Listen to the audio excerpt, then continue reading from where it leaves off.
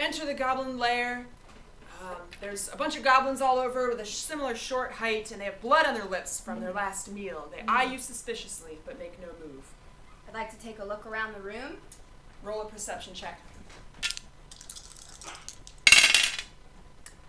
Okay, all right. You look around. There's shelves with a lot of books on them. A lot of them are have magical things. Uh, this place used to belong to a wizard, probably, um, or some sort of academic before the goblins invaded. I'd like uh, to speak to one of the goblins.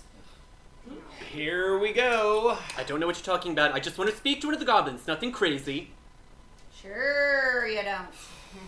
Okay, fine. Who goes there? Fresh blood for our feasting, perhaps? Hey there.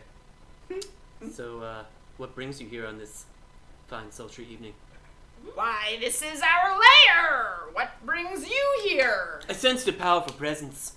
I think it might be yourself. Me? Mm, I like your smile.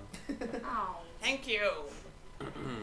I'd like to kiss the goblin. All right. No. Every fucking time, Bill. Uh, I don't know what you're referring to. Um, I would like to kiss the goblin now, please.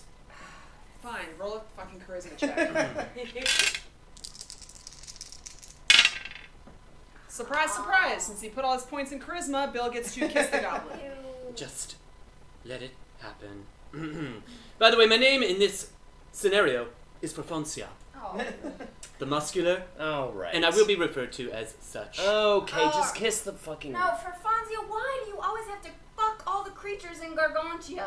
I slowly caress the goblin. Oh. All right. I say to the goblin, "Hey there, little guy. How would you like some hot wet spit in that crappy mouth of yours?" God, that's so gross. I slowly press my lips against the goblin's mouth, inserting my tongue, rubbing it against the rough ridges of its crackly teeth. Fucking why though? Why? Uh, I then pull my penis out of my loincloth. No, except you don't. You don't do that at all. Um, if I roll an 11 or higher in charisma, you better bet your ass and tits I do. oh, look at that. A 20, a critical hit. I remove my penis from my loincloth. And I say to the goblin, I call this little guy Mr. Horsey.